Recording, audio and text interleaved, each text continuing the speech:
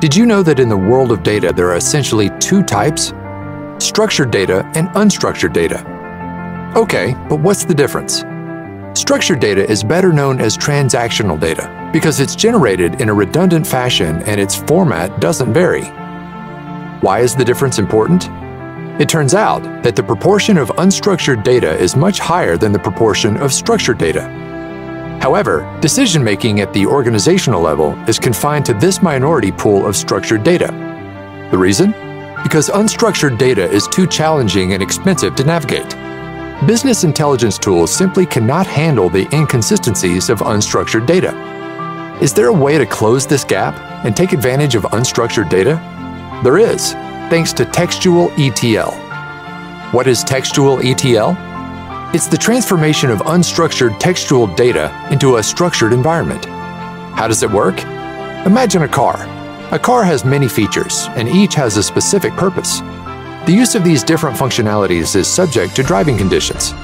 Some of these features are more commonly used than others, such as the steering wheel, the brakes, and transmission, which happen to be fundamental, while others are used less frequently or sometimes never. Now imagine that language is the road and the textual ETL is the car. Language is highly complex, especially for a computer. Similar to a car, textual ETL has different functionalities, or in this case, algorithms. Each algorithm resolves a different challenge found in language, and therefore, the frequency in which they are used is subject to the conditions of the text. However, the heart of textual ETL is what is known as taxonomic resolution, which is classification system, grouping interchangeable words. Now imagine an orchestra. In this analogy, the conductor is the centerpiece, just like taxonomic resolution is to textual ETL. However, the magic cannot occur without the surrounding instruments.